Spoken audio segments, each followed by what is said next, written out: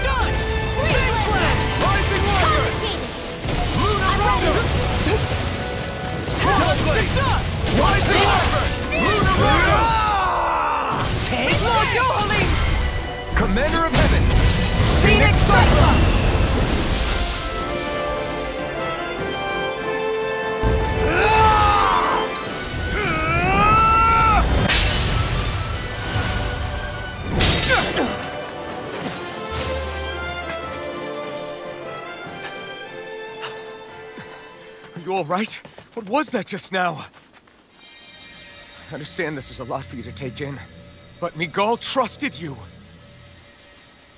Impossible. I have no such power. Truth be told, I never wanted this. I never wanted to be a lord. However, competing for a position in the crown contest was required of me, and in the process, I took the life of a dear friend. The life I took in the bloodshed, the hatred that it earned me. It was far more than I could ever bear. But the screams and tears of the slaves, they would reawaken my memories of that day. The memories of my friend's scream, and the tears of the one who mourned him. I couldn't take it any longer. I didn't want to remember. So that's it? That's the real reason you freed the Dahnans? Just so you wouldn't have to listen to their screams? Wait. So everything you've done... Precisely. It was simply to distance myself from all the pain and death, all for my own selfish ends. And if it made everyone happy in the process, well then that was just an added benefit. Or perhaps I... I truly did believe in those ideals at one point. But living up to them was never my aim.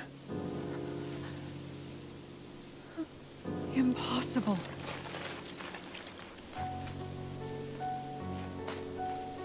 Your dream of coexistence? The ideals that you always championed? So you're saying that everything you stood for?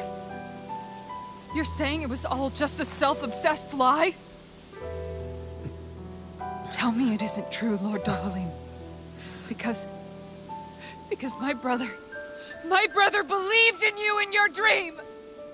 Forgive me. So this... This is who you really are?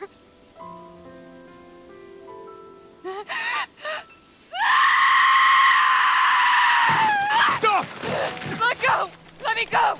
Let me go! It's enough, Kisara! Let go! Stop! I'll tear him apart! I swear I'll... I'll... Were you trying to ignore your brother's dying wish? He entrusted you with his dream!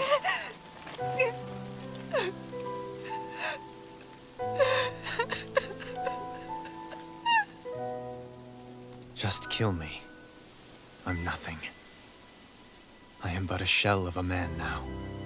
I'm just a pitiful coward who shrank from his duties. I would only ask that you make it quick.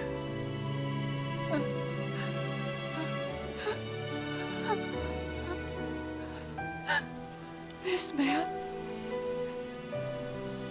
This is the person my brother died for. And for what? For what?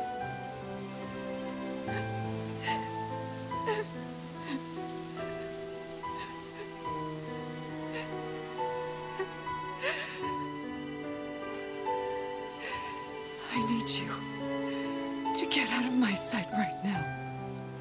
Go, before I change my mind!